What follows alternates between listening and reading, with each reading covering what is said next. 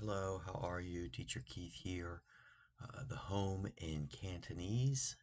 Uh, first we have uh, cupboard. Cupboard is going to be wan guai. Wan guai. Give it a try.